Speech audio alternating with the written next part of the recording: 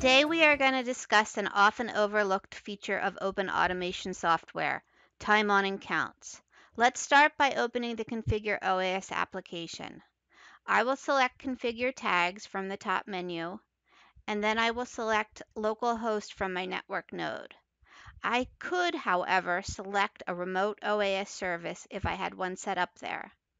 I will then use the Tags Navigator to navigate to a group I have created for this demo called Time on and Counts. Under that, I have another group called Air Conditioner, and under that, I have two tags. The first one, on, is a simple Boolean tag. Its value is true if the air conditioner is on, and it is false if the air conditioner is off. Down here at the bottom, we will see a checkbox for Enable Time On and Counts.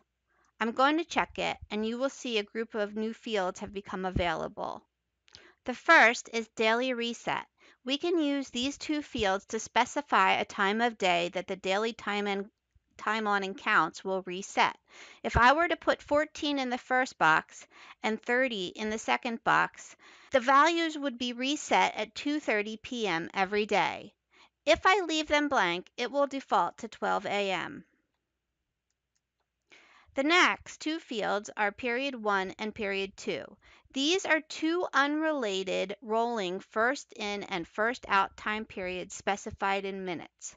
Both fields are optional if you don't want to use them. For our demo, I'm going to enter 840 in the first field and 600 in the second field. With it set this way, period one will track how many times our air conditioner was turned on and how long in total it ran in the last 840 minutes, or 14 hours.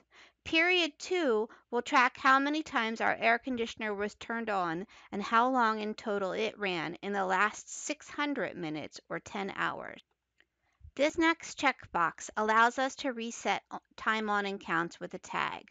I have created a tag for this purpose. I'm going to check the box and browse to the tag.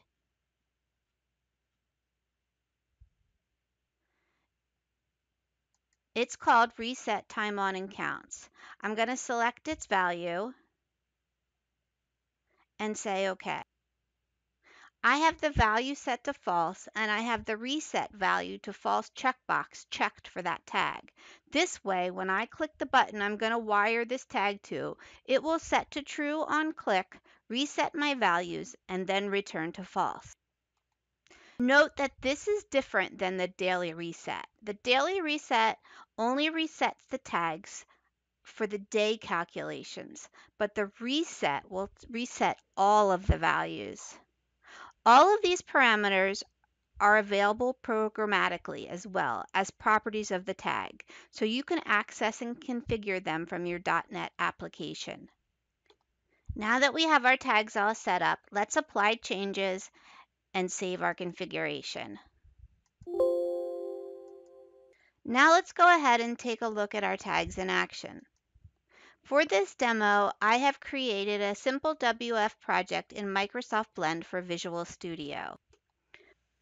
The Open Automation software website has video tutorials on how to make a visualization like this one. Here I have an air conditioner and a power switch to turn it on and off. It is connected to the Boolean tag that we looked at earlier. Let's run the application and look at it with the configure tags open and watch it in action.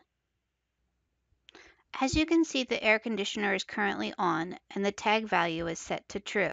If I were to change this to false in OAS, it would turn the air conditioner off in my visualization. And if I were to press the power button in the visualization, you will see that it, it turns the value to true in OAS. If OAS was connected to a real air conditioner, clicking the power button on our visualization would turn it off or on. And if someone turned the air conditioner on or off, our visualization would reflect it.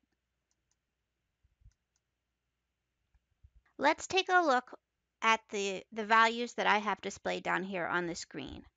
Period 1 counts. This is the number of times that the air conditioner has been turned on during period 1. And period one time on shows the number in minutes that the air conditioner has been on in period one, or the last 840 minutes. Period two shows the same things for period two, except for it's period two, so that's the last 600 minutes. Current time on will show us how long the air conditioner has been on since it was last off. So if I click it off right now, it will reset back to zero. And when I click it back on, it starts counting again. Counts today are the number of times the air conditioner has been on turned on today, and time on today is the, the time in minutes that the air conditioner has been on today. This these two values are reset at 12 a.m. according to what we have set in OAS at this time.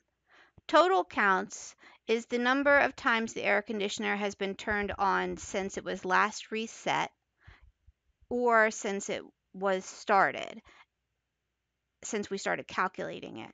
And total time on is the time in minutes that it has been on in total since it was last reset or since it started calculating. If I click the reset counts button, it will reset everything back to zero. But before I do that, I'm going to turn the air conditioner off. So now we'll click the button and you will see that it turns everything back to zero. If I turn the air conditioner back on, it starts recalculating. If we add our air conditioner program to 85 degrees on weekdays while we are at work and 78 degrees in the evenings when we come home, we could use the data logging feature of OAS to log the period 1 values every weekday at 6 p.m. and the period 2 values every weekday morning at 8 a.m. This way, we could analyze over time how long the air conditioner ran during each day and how long it ran each night. The Open Automation website outlines these parameters and properties in its knowledge base. If we go to Open Automation Software, under the Support tab in the knowledge base, Data Sources, Tags, and Time on and Counts, we will see this page. At the top, it lists all of the properties of the tag, and down at the bottom it lists the parameters for time on and counts. For more information on our products, please visit our website at www.openautomationsoftware.com.